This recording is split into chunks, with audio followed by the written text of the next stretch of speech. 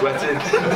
Honestly, he, he used to. He used to. Robbie Stockdale used to see him all the time at uh, Teesside Airport, and he used. He was single, and he used to bring in like welders from Croatia, and he used to say like he'd bring him in for three months, or a month or whatever it was. Short-term loan. Just uh, just a short term, and what he would do, true story, he'd, he'd, he'd live he'd live he'd lived on Wynyard, so like well the big like Gary Pallister and all them used to live there and that, and uh, St- Stockers would go fucking hell. Al's brought another one in like fucking seeing a fucking weldy by the way, you know what I mean?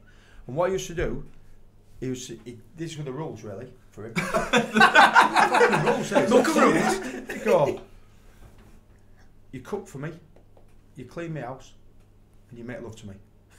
And he'll pay he pays them to do it, right? And they'll come in, two months, three months, next one, ship it out, bring in another one. Honestly, like, fucking incredible. So one day, true story, one day Alen comes in next morning, he's fucking fuming. I'm going, "Oh, what's that? What's that? What's that? Fucking women, fucking women. I went, what, what, what's up? Went, fucking bear, bear they're coming. So what she'd done, when he'd gone training, she's gone out for a run round Wynyard and got lost. so he comes in, so he doesn't eat with us because she's cooking when he gets home, you know, whatever, having, having a bit of sex or whatever. So as he's gone, like, she, he's opened the door and there's no fucker there. oh, he's not happy. Not happy. no, the So- aroma of his teas. Oh, down God, so he's like, he's like, where the fuck, you know what I mean? These are the rules. She's got to be there for doing my dinner after training and this, that, and the other. And about, he said about 45 minutes later, fucking knock on the door, two coppers with his bed. he said, uh, y- is this, you, you this went, no, thank you very much, thank you very much. He got her bags, he went, can you take her to the airport? fucking go, right?